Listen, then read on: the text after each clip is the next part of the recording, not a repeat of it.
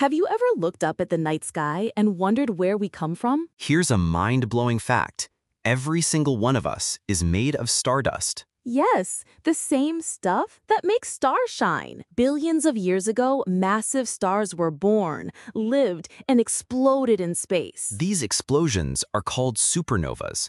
They are so powerful that they create heavy elements like iron, calcium, and oxygen. And those are the very elements our bodies are made of. Think about it this way. The iron in your blood, the calcium in your bones, even the oxygen you breathe, Once lived inside a star. When that star exploded, it scattered these elements across the universe. Over millions of years, these tiny particles came together to form planets and, eventually, life on Earth. Every time you eat, breathe, or move, your body is actually using atoms that were born in a star millions of years ago. In a way, you're not just part of this planet. You're part of the entire universe. Imagine holding a piece of iron in your hand. That same iron was once inside a star, burning at millions of degrees. And now it's part of you. We are like cosmic recycling. Matter never really disappears,